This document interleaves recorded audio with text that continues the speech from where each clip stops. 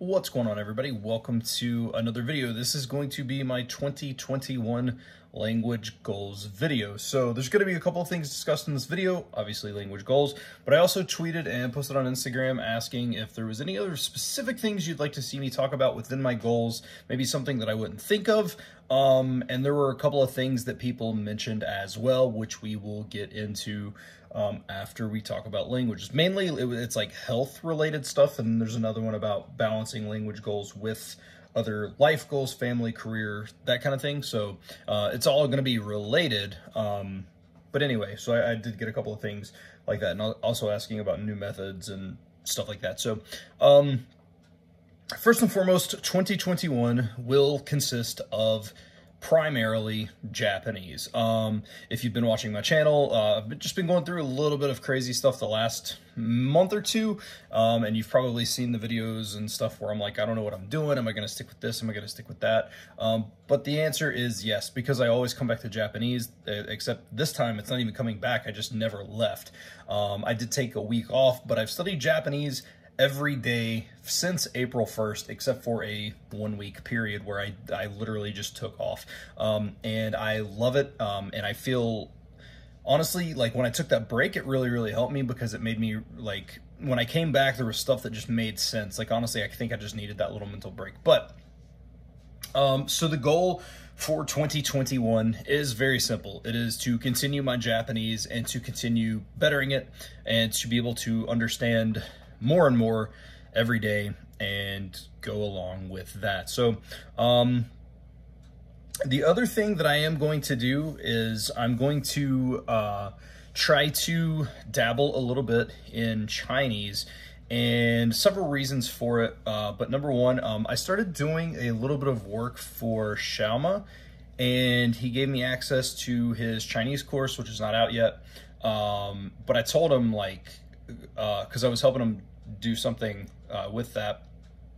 And I told him that I was going to I was going to go through his course um, and just kind of do a review of it. That doesn't mean I'm going to study it every day or do it every day, but I am going to do it enough to finish that course um, and kind of see where I'm at. And it's not going to take a lot of time away from my Japanese because the reason that I would be learning this or attempting to learn it is for different reasons than learning Japanese. My goal with Japanese is to be able to understand all the stuff being spoken to me within media that I'm seeing, uh, Japanese wrestling, movies, music, stuff like that that I enjoy, the occasional anime if I feel weird that day. Um, and so that's the goal there. It's more about comprehension um, as to where I'm not saying I don't want to comprehend Chinese, but my goal with Chinese would simply be to you know, if I order takeout from down the road, like be able to just say a couple of little subtle things, like just a couple of little phrases. So it's completely different. Um, but whatever. Anyway, so that's the other goal for that. I don't really have anything else for Chinese. Like it, uh, I'm not going to be doing like LingoDeer or anything like that. Like it's pretty much just going to be following Xiaoma's course and, um, I don't know, see, see what can happen. So uh, that is going to be it in that regard. But with Japanese, that is going to be every day, hours a day, uh, passive listening at work, uh, active immersion with um, movies, TV, you know, all that stuff at home. But I am going to be using um, a little bit of uh, like a Duolingo and stuff, and it's because I've been using it maybe one or two lessons a day. Sometimes not. Uh, my I don't have like a streak. Like it's always streaky because I don't really care about streaks and stuff. But the thing that I found about Duolingo is as my Japanese has gotten better, going through Duolingo from a stance of I already know everything it's teaching at, up to the point that I'm at, but it's helping me see those kanji in a couple of different like situations and it's actually helping me understand it a little bit more uh, and be able to recognize it uh, and things like that. So honestly for that purpose just for a reading purpose uh, i think it's cool. Now i know the argument there is why would you not just read other material? And it's because with duolingo i can target that specific set of kanji or whatever that I want to learn or what I need improvement on and specifically stick to sentences with that. And it's just a much easier thing. I could go out and search sentences and stuff, but if we're talking just I want to do it, I have a quick five minutes, it's what I'm going to do. So, um, I am, uh, I'm probably,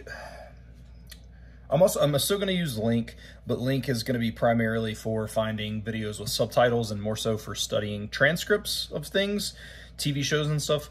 Um, the reading thing, just I don't know, man. We'll we'll see. So I do have a subscription to Satori Reader, uh, but I, I, haven't used it that that much. So uh, we'll see kind of how that goes. We'll play. I, I've used it and I think it's really great. But again, as as I've mentioned before, uh, reading is just something that's, I don't know. So, uh, and I know that that contradicts my past point of doing Duolingo for the purpose of reading, but I honestly think that once I can understand and read easier, it will make me want to read more, if that makes sense. So we're kind of banking on that. So, um, that is that's just about it uh, and that honestly kind of branches into the new methods and things that i'm tossing uh, one of the things i'm tossing is the japanese pod series um, although it is i do find it to be really really useful uh, i do think that i can spend a little bit better time elsewhere um, and i think that i can get some of the grammar purposes in a lot less boring of a manner um, because the whole purpose behind my original stint with Japanese Pod was to import the dialogues and stuff. And while that was great for a little bit, it was just a bit too much to do like as to where I could just go and watch a TV show and it was actual dialogue from something entertaining and not a made up story about whatever the situation may be. So that's probably something I'll be getting rid of. Plus the cost of it. I just don't feel like paying for it. Um, and yeah, that's, I think that's pretty much, I mean, that's pretty much it, man. It's, there's not going to be a whole lot that's changed. I do need to get back to being better with Anki. Um, I do plan on um, trying to sentence mine. It's I, I, actually was doing that right before I started recording this video, and I don't know, man. It's like it's, I still have still have some trouble with it, uh, and I think it's just because my vocabulary is so limited, and that's kind of on me.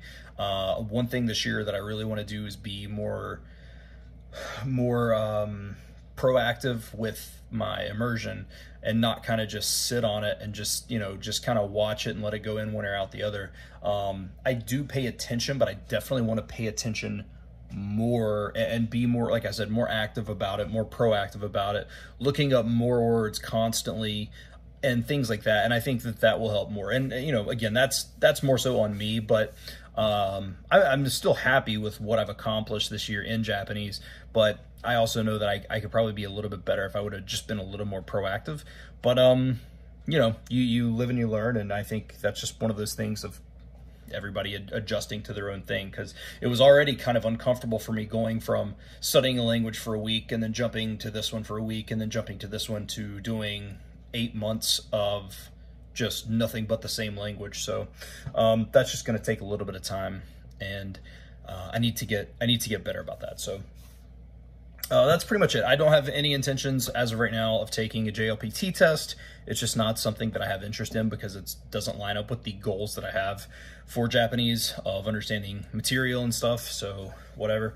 Um, for grammar purposes, because that was the main reason that I was going to do um, the grammar in, uh, for Japanese pod, uh, I'm going to bite the bullet and and spend 15ish minutes a day, honestly, probably each day, go through a chapter of Tae Kim and just suck it up, man. I've been fighting this for eight months, and I mean, I could have already finished it and would have been fine, or at least had not not fine, but I would have had some probably better uh, some sort of better understanding about a language or about the grammar, I should say. So I'm probably just going to do that, man, and just suck it up and bite the bullet and do it. Um, it's not something that I enjoy, but it is something I think that I do need a little bit of structured guidance. I know that the the community is like, oh, just keep watching and stuff will stick in. But uh, I'm, I'm not saying I disagree with that. I have no room to disagree because it's not like I speak Japanese. But I do think that for somebody like me, a little bit of structure, I've had this conversation with somebody even recently, just a little bit of structure is uh, very helpful to me. So I'm going to uh, I'm going to do that. Just try, and honestly, I'm going to start with the beginning. I'm not going to try to figure out where I was in Tae Kim. Oh, where am I? I know this. Let's skip. Like, I'm just going to gloss over the whole have the hiccups, uh, gloss over like the whole thing and um, try to make it work. So that's pretty much it with my goals. Like I said, Japanese is the 100% focus this year uh, with the exclusion of a little bit of, um, you know, a little bit of, of Chinese with uh, Xiaoma's course, but um, which honestly leads me into another goal. And that this is more so related to my channel. And that is collaboration type stuff. Um, and I'm going to be doing more interviews again, uh, getting that started back up. I guess we'll call it a season two, maybe. Um, and I've already got some people lined up for that. And then uh, maybe have a little bit of repeat guests on uh, and things like that. And just continue to work with people in the community, sharing stories of learning and, and how people got into it. So that's that's another goal, uh, not language related, but it's related to my channel. So uh, going into the goals that people asked me about, which is, um, uh, so I, I, discussed the new methods and things that, that, I'm tossing basically within that first little bit. Um, so the next one's going to be balancing language goals with other life goals, uh, family, career, and, and then health being um, the last part. And that was the that was the other thing everybody wanted goals on was health. So as far as balancing language goals with other uh, life goals, family, career. So with other life goals, uh, it's within the last few months, I have done a better job at making time for things that I want to do. Um, I am a huge, like, avid writer. Um, I've wrote uh, probably a dozen screenplays. I've worked on movies in the past, and movie and filmmaking is something that has always been something that has interested me. Um, I worked on my first movie back in 2009, and uh, i have written movies since, I mean, since I was in middle school. Like it's something that I've always done. I mean, 20 plus years that I've done um, that I've done this, and so uh, realistically, I've always said I wanted to make a movie. Um, but I think right now, just the goal is to just write a little bit more and try to find something that I could film pretty easily um, around here with myself or whatever. And so um, that's one thing I'm going to try to do better at is making a little bit more time for that because language is something that I love. But again, this is a hobby, just like filmmaking is a hobby, and I don't want to completely neglect that um, just because of languages. So um, that's something I'm going to try to make a little bit more time for, uh, maybe even once a week, just sitting down and being like, you know what, um, I've done four hours of passive immersion and I have two hours of active study or whatever. So you know what? I'm going to forego this last hour of immersion and I'm going to write a little bit or just try to brainstorm some ideas. So that's something as far as life goals go. Um, as far as family, I mean, uh, it's probably going to be the same thing. Um, when I get home from work, it will be no language until my son goes to bed. That's just, again, um, I've mentioned that in the past. If you're new to this channel, um, I can just re basically, I mean, I have a, a, son that just turned four and I refuse to put anything above him. I'm not saying I willingly put stuff above my wife. I'm just saying like, that's kind of our time together. So um, I will never have like this crazy study time because, you know, the first three or four hours when I get home from work are going to be dedicated uh, to him. So that's going to continue. I'm not going to, definitely not going to sacrifice any time for uh, with him to study language or write or any of that stuff. So um, that's pretty much going to stay the same.